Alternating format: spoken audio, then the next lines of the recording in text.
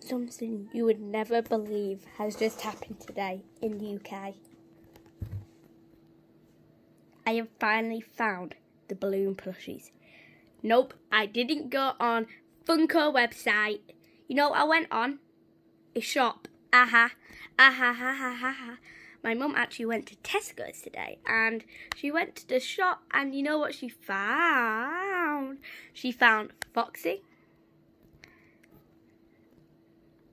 She found Freddy.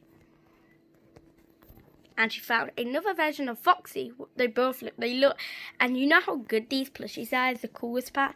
I absolutely love them. And I'm so happy to have them into my collection. Thumbs up. That's really all I have from today's video. I'm going to try and make this down not to like a minute. But yeah, see you guys in the next one. And bye-bye. This is so cool. Like if you want this to be a, a re review. A review. Yes. Like if you want to see a review. Bye. And subscribe and like.